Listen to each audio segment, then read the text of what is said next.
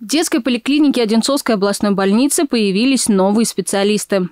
У нас появился гастроэнтеролог на целую ставку, он работает ежедневно. И недавно к нам пришел доктор, а, детский кардиолог. На протяжении четырех лет маленьких пациентов направляли для обследования в другие районы Москвы и Московской области. Теперь наличие узкопрофильного специалиста поможет проводить своевременный осмотр, диагностику и лечение сосудистой системы у детей и подростков. Ко мне идут, конечно, дети с э, кардиологические больные, так назовем, да, с аритмологией тоже. Это в основном врожденные пороки сердца, да, нарушение ритма сердца и вегетативные разные расстройства. Еще одним востребованным специалистом стала гастроэнтеролог Юлия Анатольевна.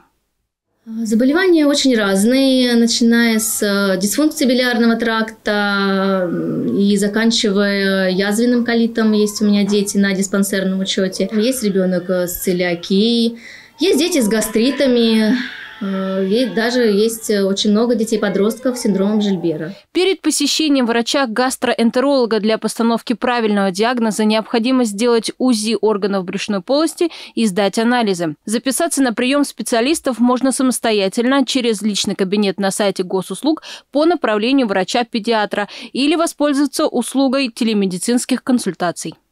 Я сама записываю на телемедицинскую консультацию. По результатам уже анализов, когда приходят анализы, я звоню пациентам по результатам этих анализов. Помимо врачей-кардиолога и гастроэнтеролога, с 14 августа в детской поликлинике Одинцовской областной больницы появится врач-аллерголог. Специалист будет работать ежедневно, что позволит создать лучшие условия для населения в борьбе с аллергией. Раиса Киян, Станислав Трифонов, телекомпания «Одинцова».